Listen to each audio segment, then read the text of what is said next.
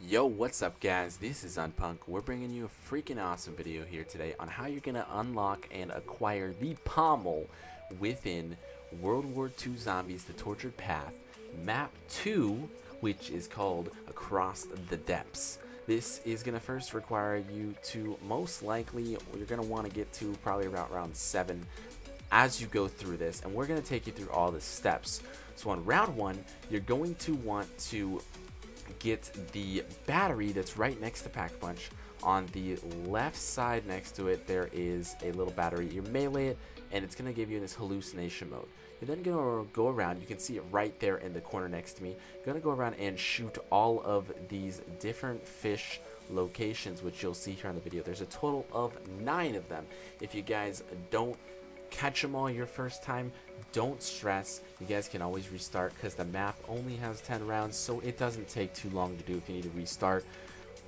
You need to make sure you're hallucinating with all of your players, though, on round one. So that way, on round two, you can go ahead and start doing all of these different fish locations as there is nine of them, and they will not spawn until a round after you've had every single team member in your game do this little hallucination effect. So I'm showing off all nine locations right now. Sorry about that. My voice is giving out of me. I'm getting a little under the weather here. I haven't apparently been getting enough sleep or not been uh, taking enough on rest myself. But this is going to show all the nine locations. Next, what's going to happen is right out here on the deck towards the area where you fill the first part for Pack Punch, it's going to spawn a red fish you're just going to follow. It's a pretty simple path, pretty noticeable fish to follow. It's going to take you into the same path every single time, just like how the nine locations for the fishes that you were shooting just a second ago are going to be in the same locations. Again, this is going to show where you can grab one of the Uberschalen, I don't know how to say it, the batteries, just like from the Final Reich. They're going to appear and you're going to purchase it for 3,000 points and you're just going to bring it right over here to this first location and start filling up souls for this. I'd recommend bringing in Shell Shock class with determination to give yourself armor as you can't buy armor in this map or any of the three as well as sustain zone so that we can keep zombies back for a little while. You're going to take probably 20 to 25 zombies from my experience. I could have counted wrong it's all wonky time right now, so don't hold me specifically to that number, but it's going to take probably about 20, I'd say, on each of these three sections. So you're going to want to do these as you're going through the rounds. I would not worry about them during the objective rounds, so 3, 6, and 9. You shouldn't have to worry about 9 at all. Right there is one of the locations. Right there in front of me, next to that Pack-a-Punch charger, will be another location for this battery where it can spawn. Another one is right as you're going past the starter weapon Wildbite on your left hand side before the stairs. If you guys know the map, you should know where that is. Another location is right here next to the quick revive machine where you can buy another one. And I'm just going to show off the ones I know. And I believe that's four out of five locations. And the last one will spawn somewhere next to where the fish spawns, but just kind of hanging off the side from my understanding, there's only five locations. And there's going to be three possible ones that you're going to have in your game. Right there in front of you, to the left there of the stairs, right before you go down the stairs, that's where one of them is, which I just went through. The third location is right there for charging it. Now I'm going a little fast as I don't want to keep you guys hung up too long, but you're literally just going to go and fill 20 souls in each of those three locations. You're then going to get teleported, so make sure you guys pack a punch pack a punch, pack a punch, pack a punch before you go into this section so that way you guys are ready to go for this. You're going to have to do a little parkour, so make sure you don't fall off because if you guys fall off, as you see there, you get killed and you get brought back. You're going to have to kill yourself and self-revive or have another player kill themselves self-revive to get themselves back up. You're then going to go through three little fights on each of these three platforms you're going to do. Pretty simple. The first one's got a Wüstling and it's got some zombies. We didn't have any pack-a-punch guns, so we were using our shell shock and just going through with our guns. And we did it pretty fine with little perks. The platforms are going to appear on the second one a little wonky, so make sure, again, you guys are being careful on those jumps. Don't fall off, because if you fall off, you're going to either have to self-revive or have another player kill themselves so they can go there and use a self-revive. etc. because of the fact that you can't jump backwards. So the only way you can get back to the previous platform is jumping backwards and killing yourself and using a self revive.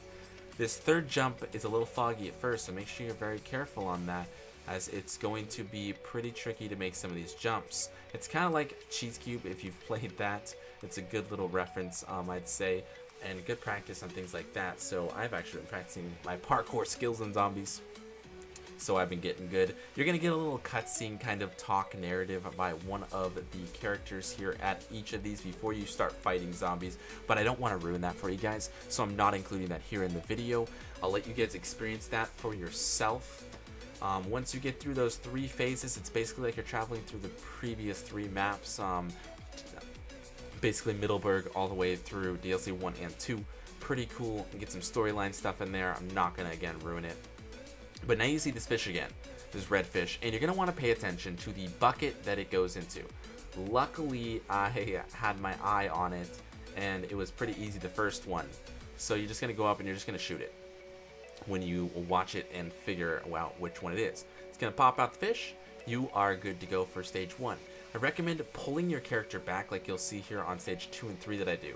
I pull my character back a little bit so that way you can see the angle better of the fish so that when these things move, because each time you do it, you're going to get more and more buckets that are going to appear and you're going to want to make sure you're using the right one. I obviously shot the wrong one right there, so it definitely made it so that you failed. Luckily, when you failed, it doesn't set you back. It just throws a whistling at you, or whistling, sorry, just gonna knock them down real quick, pretty easy to do. And um, you're gonna go right back and then you're gonna do it again. It won't set you back to the first one, it will just set you back to the second one. So pretty easy to continue on from where you are. Luckily, I got the second one pretty easy.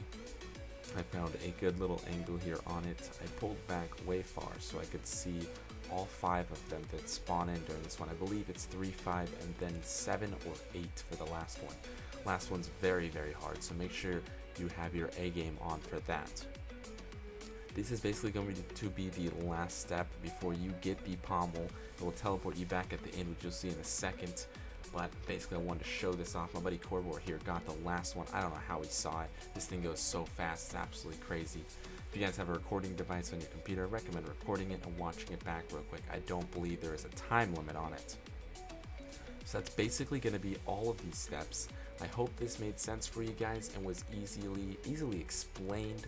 If you guys did enjoy this video and it helped you guys get this pommel, get this secret weapon camo that you get, as well as unlocking the Easter egg or completing the Easter egg for this map, which you're then going to have to go along and finish the entire 10 rounds and beat the boss to be completed and get it checked off. That's going to get you across the depths, completed your weapon camo and your pommel. This has been your friendly neighborhood Unpunk. We're going to catch you guys real soon. Peace.